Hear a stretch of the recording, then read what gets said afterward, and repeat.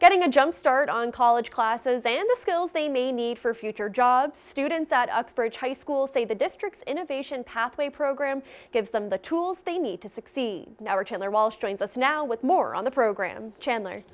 Olivia, the Innovation Pathway program piloted last year. The state says they see work-based and work-based learning, excuse me, and experience as the future of education. High school student Hallie Doppler makes the lieutenant governor a personalized keychain using a laser.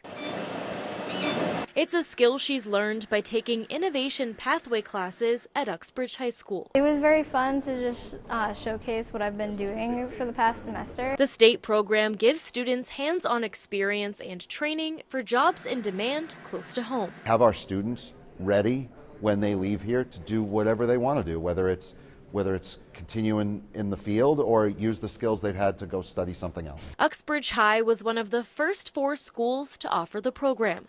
They received about $125,000 from the Baker Polito administration this month for new equipment and professional development for teachers. To provide our students the best experience, the teachers have uh, the curriculum, the, the knowledge on how to deliver that curriculum, and then have the types of equipment that students are going to see when they enter college and when they go into employment. About half of the high school's 600 or so students are taking an innovation pathway class in subjects like manufacturing, engineering, and design.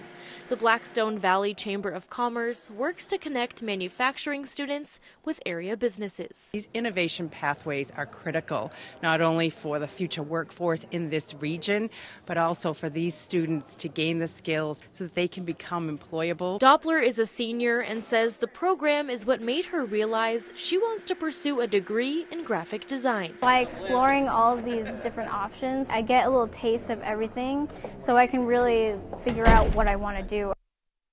The state says they're hopeful schools like Uxbridge become the model for what other communities can do. They're hoping to reach 60 to 70,000 more Massachusetts students over the next several years. Chandler Walsh, Worcester News Tonight.